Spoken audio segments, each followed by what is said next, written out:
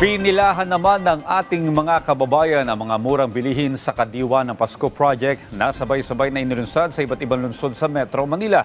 Ang ilan dyan pinangunahan pa ng First Family. Si Joshua Garcia sa detalye.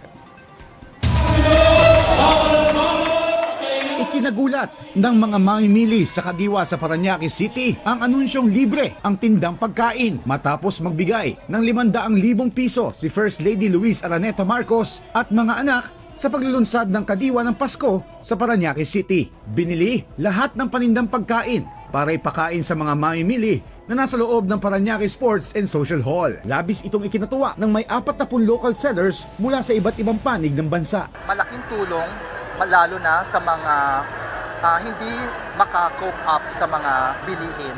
Mainam at masayang pakiramdam.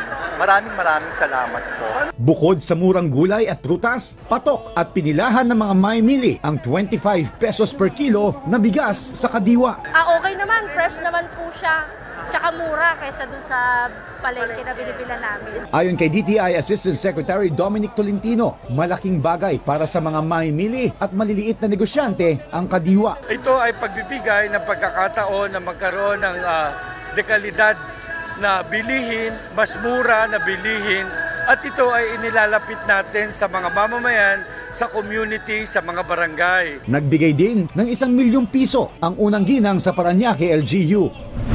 Samantala, pinangunahan naman ni Ilocos Norte Congressman Sandro Marcos ang Kadiwa ng Pasko launching sa Quezon City. Ilinatag po to ng ating minamahal na Pangulo. Kaya ako po ay talagang taus-puso sa inyong lahat na ipinakita nyo rin ang inyong suporta sa Kadiwa ng Pasko programa. Ipinakita nyo ang pagmamahal sa ating Pangulo at ang inyong suporta sa ating gobyerno.